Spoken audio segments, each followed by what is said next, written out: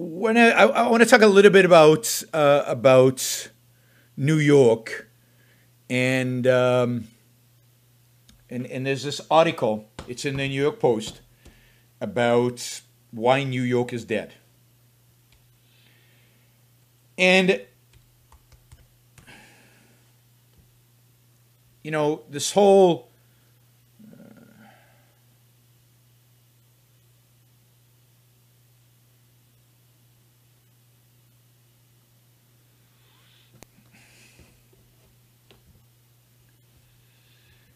Uh, there's a whole article. It's it's uh, the article's name is "New York City is Dead Forever."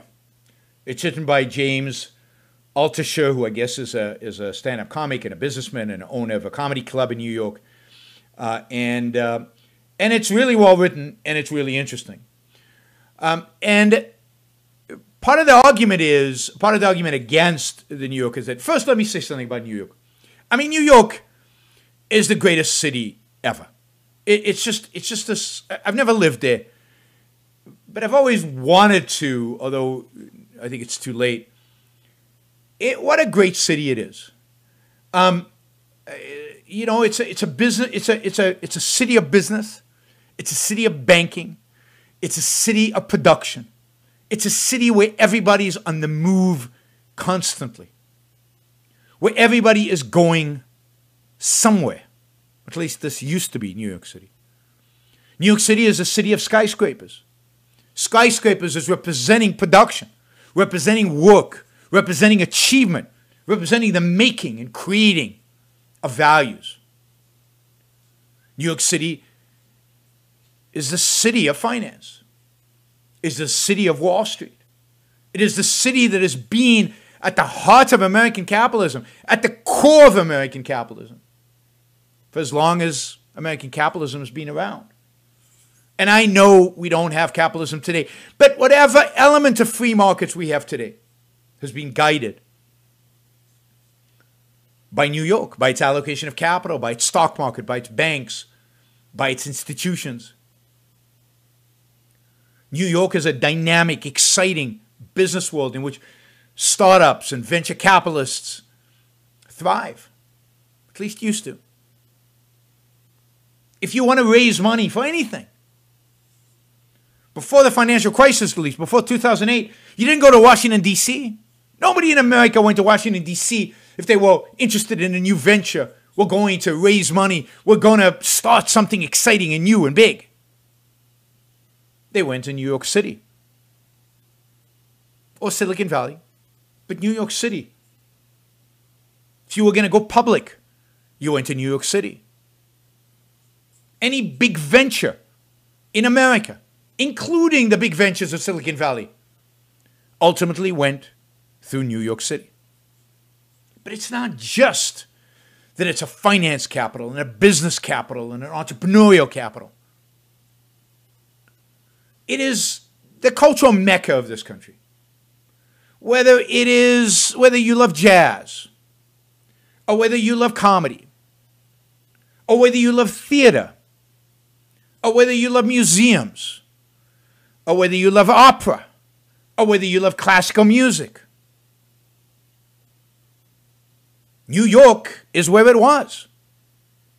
New York was the center of the American culture, the center of the American world.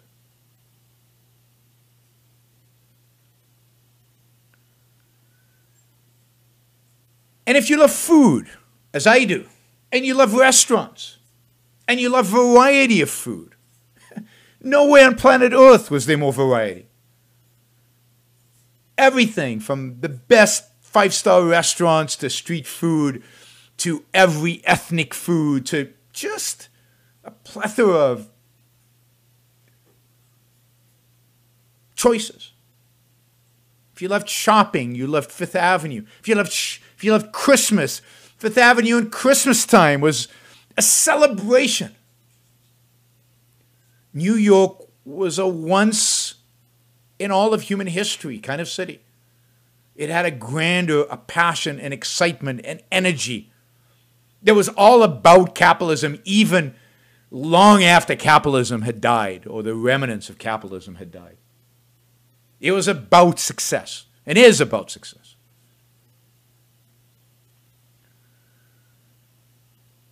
And in five months, in 2020, the governor and the mayor of New York killed New York. They killed New York. Now you can throw in the President of the United States into the mix as well. By failing, by failing dramatically to control the virus, to control the coronavirus, by panicking and shutting everything down, by giving the most panicked, most conservative, most risk averse advice possible. Not advice, using the power of the state to enforce it.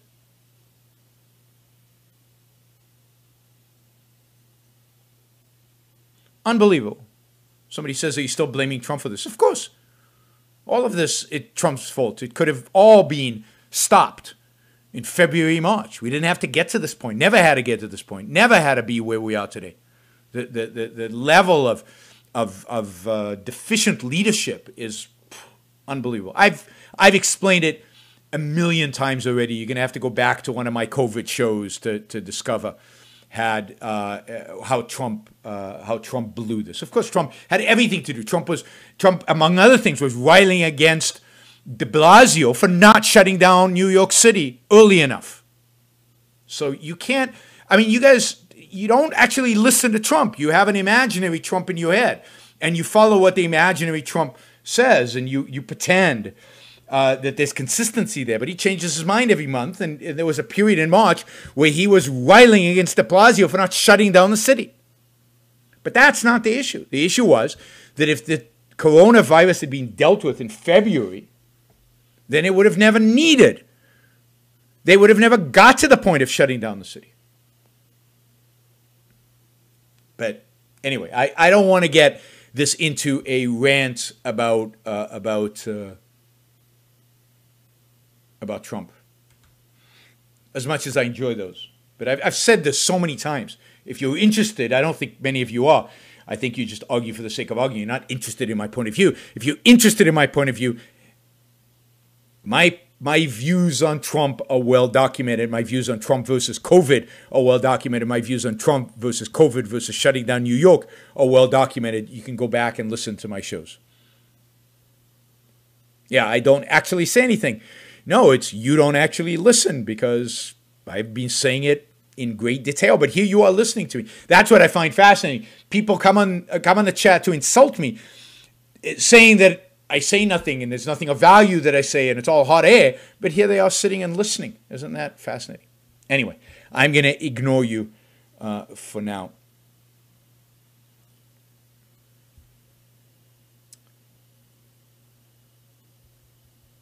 New York City, magnificent city. And yet, our political class, our politicians, from the federal government down, have destroyed it. By shutting it down, there is no culture in New York today. By closing the restaurants, 60% by some estimates of those restaurants are gone and be very difficult to replace. The number of people leaving New York is astronomical. Nobody knows exactly what the numbers are. Rents are dropping by 30 to 50%. Real estate prices in New York are going to drop. And prices elsewhere, all around the country, in suburban neighborhoods, are rising. What maybe COVID did was accelerate another trend, which is we suddenly realized we suddenly realized that we don't need to go into the office we can actually work at home. That Zoom is incredibly efficient, and that bandwidth, because it's so much higher today, can actually facilitate pretty good meetings, pretty good interaction. And that maybe we don't need to go into crowded elevators to work on the 50th floor with dozens of other people. What for? So, as a cultural mecca, where are all these artists who haven't been at work for five months and probably will not be at work until middle of 2021? Where are they? They're gone. Where are the people who worked in the restaurants? Where are the people who owned the restaurants who've shut them down and closed them? They can't afford to live in New York anymore. They're gone. Restaurants will improve across America from the refugees from New York. But the restaurants in New York are gone. I know many of the banks in New York, the big banks, the ones that occupy whole skyscrapers. They're not going to open anytime soon. And if they do open, they'll open with very few staff. I mean, many of them open now, but they have about 10% of the people who used to work there working now.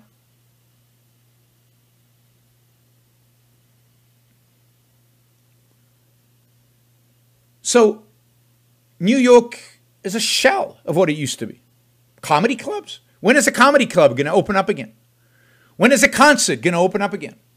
When is the next time? When is the next time? We are going to have concerts and, and, and, and Broadway. Where's Broadway? Broadway's gone.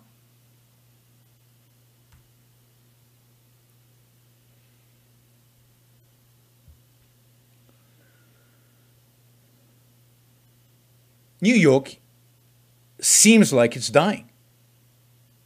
And uh, crime in New York used to be higher than it is today. That is true. But there was always hope because the fundamentals in New York were always there. It was always vibrant and exciting and opportunities and and there was always stuff, reason to come back. So even when crime was double what it is today in the 1970s and 80s, people kept coming back because of the value that it represented.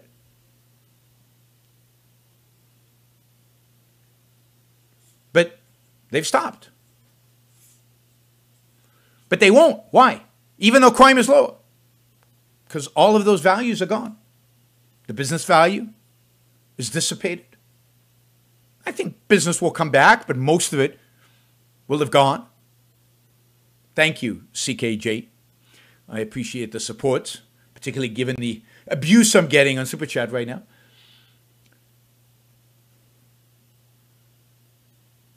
The culture is not there. And because of the riots, because of the demonstrations,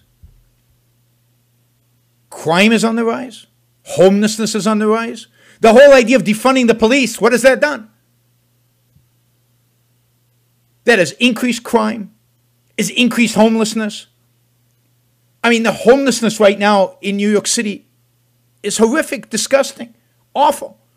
Their behavior, their aggressiveness uh, reminds you of San Francisco. But de Blasio and de Blasio won't do anything about it. The police are being defunded. The police have been neutered. So they're not going to do anything about it. So you've got anarchy in the streets of New York.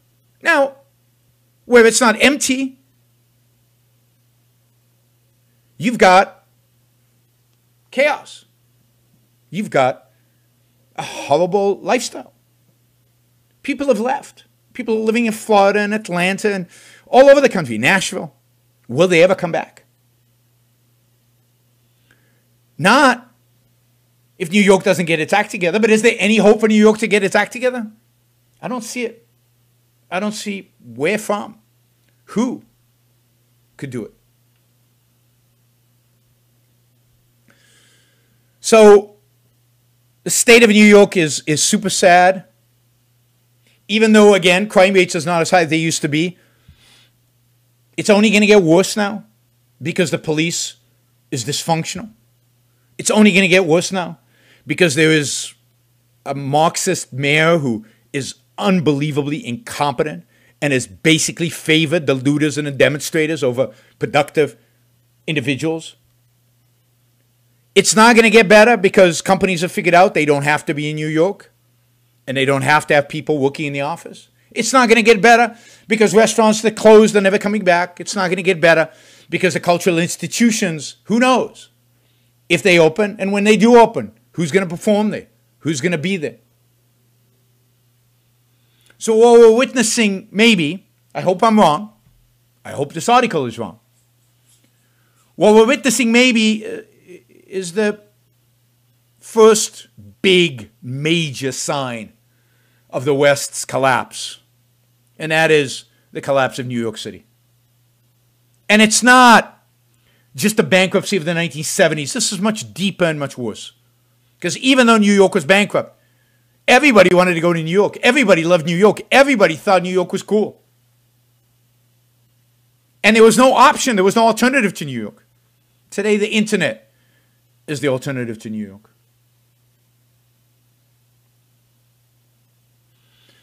What's the leading fruity city in the U.S. going to be now? Well, I mean, it was New York and San Francisco, and, and both those as cities. I think San Francisco has is more likely to survive than New York, but both are in trouble, in major, major, major trouble.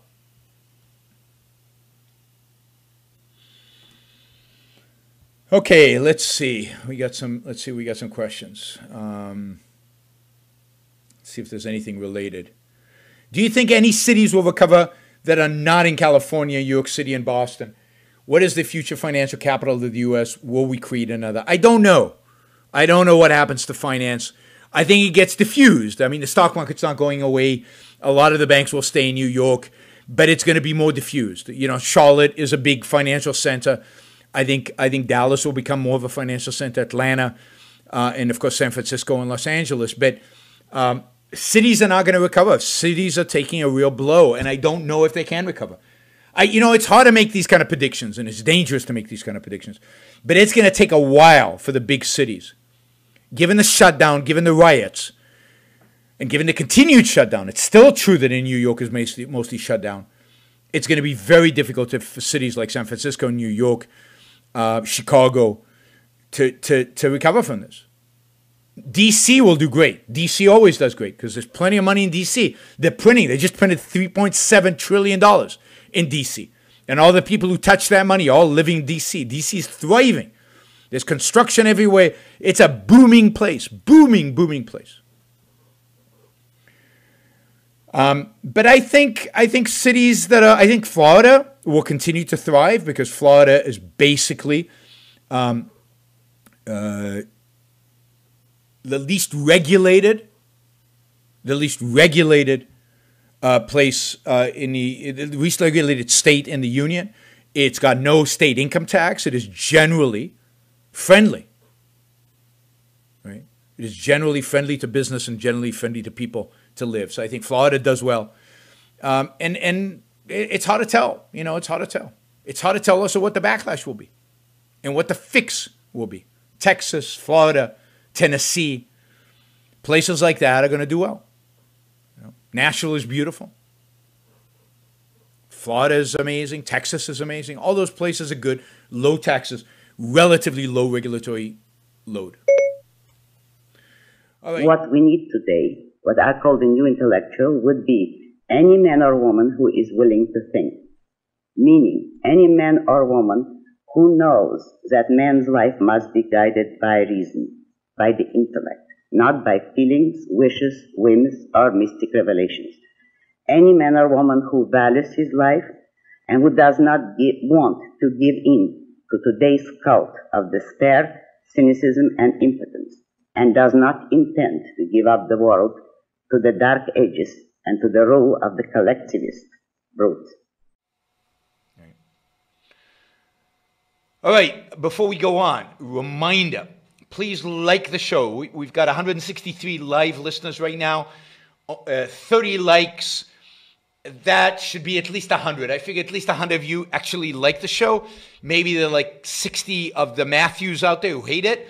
But but at least the people who are liking it, you know, I want to see I want to see a thumbs up. There you go. Start liking it. I want to see that go to 100. All it takes is a click of a, a click of a, a thing. Whether you're looking at this uh, and, and you know, the likes matter. It, it's not an issue of my ego, it's an issue of the algorithm. The more you like something, the more the algorithm likes it. So, you know, and if you don't like the show, give it a thumbs down. Let's see your actual views being reflected in the likes. But uh, if you like it, don't just sit there, help get the show promoted. Of course, you should also share, and uh, you can support the show at yaronbrookshow.com slash support or on Patreon or Subscribestar or Locals uh, and uh, and show your support for all for, for, for the work for the value hopefully you're receiving from this. And uh, and of course don't forget if you're not a subscriber even if you even if you just come here to troll or even if you're here like Matthew to defend Marx uh, then uh, you should subscribe because that way you'll know when to show up you'll know what shows are on when they're on you'll get notified right so um, yes like share, subscribe, support. Like, share, subscribe, support. There you go. Easy. Do one or all of those, please.